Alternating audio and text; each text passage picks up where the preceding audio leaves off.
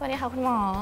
พอดีว่าออนไปออกกำลังกายมาค่ะ แล้วก็มีอาการปวดบริเวณข้อหัวไหล่แบบนี้เนี่ยเป็นอาการของโรคอะไรหรือเปล่าคะ คือการที่ไปออกกำลังกายนะครับก็เหมือนกับการบาดเจ็บเล็ก ๆ น้อยๆซ้ำแล้วซ้ำเล่า การบาดเจ็บนี้อาจจะรุนแรงแค่กล้ามเนื้ออักเสบหรือกล้ามเนื้อฉีกขาดเล็กน้อย หรืออาจจะรุนแรงมากถึงขนาดต้องผ่าตัดก็ได้ครับผม แล้วแบบนี้จะมีวิธีรักษายังไงได้บ้างเหรอคะ คือถ้ามีอาการแล้วนะครับระยะแรกเลยนะก็หยุดออกกำลังกายหยุดเล่นกีฬาสักสามสัปดาห์ดีขึ้นหรือไม่นะครับถ้าไม่ดีขึ้นควรจะพบแพทย์แพทย์ก็จะทำการตรวจเบื้องต้นด้วยการตรวจด้วยอัลตราซาวด์ดูว่าฉีกขาดมากน้อยขนาดไหน ถ้าไม่มากก็จะอาจจะให้การรักษาด้วยวิธีกายภาพบำบัดต่อ แต่ถ้ามากเราก็จะส่งคนไข้ตรวจด้วยคลื่นแม่เหล็กไฟฟ้า โดยที่มีข้อดีที่ว่าบาดแผลเล็กฟื้นสภาพเร็ว ผลการรักษาดีกว่าการผ่าตัดด้วยวิธีเปิดดั้งเดิมครับใครที่เป็นอยู่นะคะ ก็สบายใจหายห่วงได้เลยค่ะเพราะว่าอย่างที่คุณหมอบอกบาดแผลเล็ก พักฟื้นได้เร็วกว่าแล้วก็ได้ผลดีกว่านะคะ วันนี้ขอบคุณคุณหมอมากนะคะ